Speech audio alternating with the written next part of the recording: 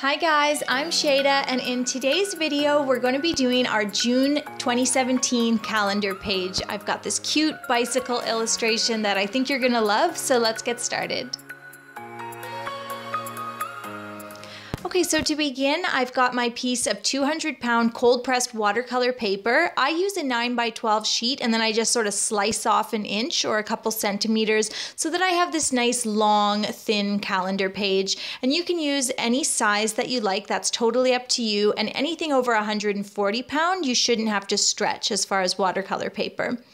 Now I've got my little grid here uh, that I've drawn on graph paper with all the numbers and uh, I've used three by three units for each number and um, that's just allowed me to make this nice symmetrical grid. Now I'm going to flip that over and just lay down a nice layer of graphite with my pencil and uh, that's going to allow me to transfer those numbers onto my piece of watercolor paper. You can use graphite transfer paper for this portion of the project. I just like the graphite from the pencil because for something so small and detailed, it erases really well and I don't have to worry about smudges. And then I've got my June title and my cute little bicycle illustration on tracing paper here. And I'm just sort of thinking about layout. Where do I want to place those? I um, this is also totally up to you. You can place the title of the month wherever you want. Here I'm going to put the illustration at the top of the page. So I'm taping them in place, getting them centered, and then I'm just going to flip that up and I'm going to go over all my numbers with my mechanical pencil in order to transfer them. Once that's done, I am going to take a piece of graphite transfer paper. I'm going to place it dark side down under my month title and I'm going to go over that with a nice sharp mechanical pencil in order to transfer it as well.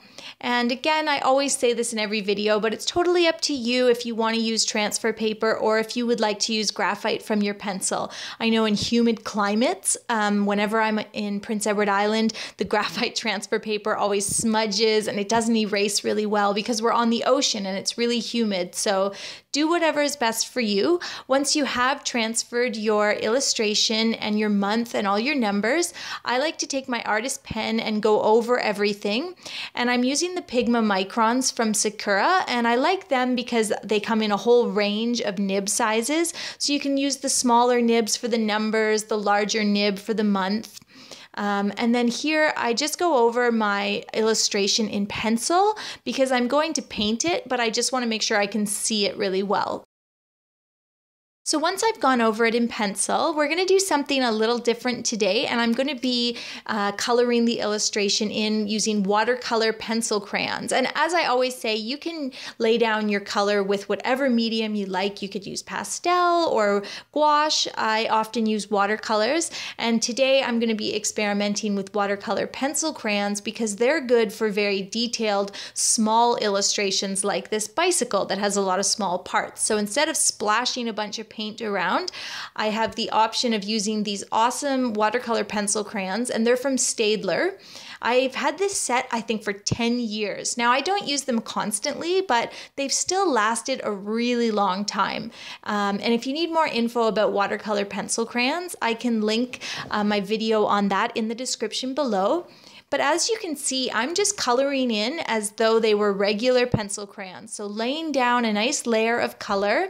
You can mix and blend them. So you can see on the bicycle seat, I've blended a little yellow with a darker brown pencil crayon, and that will work really well.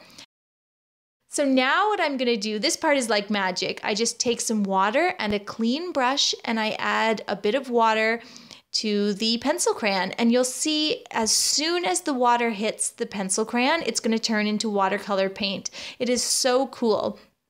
And then you're painting. Take that small brush and the water, and you can push the paints around. You can work on your shading and your shadow and your depth. Um, but it is so neat. You can just get the pencil crayon wet, and all of a sudden, you've got watercolor paint. So here I'm just adding a nice clean water to all the blue bits of the bicycle. And when you are painting, you're going to want to clean your brush in between each color. So do one color at a time, wash your brush um, just with the water that you've got there so that your colors don't get muddled. Now, as I paint the flowers, I'll just zoom in here and you can really see how the pencil crayon changes on contact with that water. And then I'm just sort of pushing the paint around and working with it as though it were watercolors. It's, it's quite cool and I hope you'll give watercolor pencil crayons a try and then I'll wash my brush and then I'll go back in and do the green. So I did all the warm colors of the flowers and now I'm doing that nice cool green and doing one color at a time and washing my brush just allows those colors to stay nice and true and I, I won't let them get muddled. And when I do the basket here, you'll see how effective layering the pencil crayons can be. So to get this light brown, I layered a bit of peach, brown, and yellow pencil crayon. And as I add that water, it really comes together as this nice warm light brown. So do experiment with blending your pencil crayons because it works very, very well. And I'm just going to add a little bit of water to the black pencil crayon of the wheels here. And then once we're all done with our watercolor, we're going to just give everything a quick erase and get rid of all the graphite or any pencil smudges that might remain. And then I'm going to go over my month and color it in dark black with my artist pen. And this is just a good time to do that while you're waiting for the watercolor to dry. And the reason I didn't do it before is if I were to drop um, a little bit of water or something, I don't want that to bleed out. So I always wait until the end to add my artist pen. And then while we're waiting for the bicycle to dry, I'll show you how I illustrated it. All right, let's draw our bicycle. I always start with an angled line and it's on just a slight bit of an angle and how large you make this line will really determine how large you want the bicycle to be. So you're just going to start with a bit of an angled line. From the base of that line, you're doing another line going back and on, upwards slightly on an angle and then you're going to form a triangle there that doesn't quite meet the top of your initial line. And at the base there, you're going to do two circles and then you can see how that sort of forms the chain. So start with this triangle part and then add that chain and gear. And this is a really good strong start to the design of a bicycle. Now I'm going to draw my back wheel and you could trace something round. I like to just sort of go round and round with my pen, and I find that gives me a fairly circular shape. And I'll just add a little fender on the top there, and that just sort of flows along with the shape of the wheel. And the bicycle seat, I just sort of do this funny little shape. You can play around a bit with that and, and see what you come up with. Um, and I'm just going to go in with a brush marker so that you can really get um, what that wheel looks like. So that's the, the black part. I always go and add some lines for sort of the inside of the inner tube and then of course the spokes. And I think you can see now how this comes together. So start with that triangle um, and then add the back wheel. Then we go forward and add that front wheel. You can do some lines on your initial sketch to help you stay in line with the back wheel and keep the front wheel the same size. So there's our front wheel. It's um, it's the same size, same shape. I'm going to add some detail of the inner tube and I'll add a, a, little circle right in the center. And then we're doing just a slightly angled curved line going down to that. And then from the chain to that line, we have our um, bicycle frame and it angles up over the front wheel. So it's on quite an angle. And then you can place a second line um, somewhere in there. It doesn't really matter. You could put that one wherever you like, depending on the sort of bicycle you're trying to design. And I'll just slip another fender on the front wheel there. It uh, doesn't go out quite as far. And then there's a little line going from the fender to the center of the wheel, and then we can put in some spokes. Okay, and that's almost everything. The front is really taken up by this oversized basket of flowers. And I do, I draw in this sort of ridiculously large bundle of flowers and leaves. And that's just sort of this lumpy bit. And then I'll draw in some, some floral details.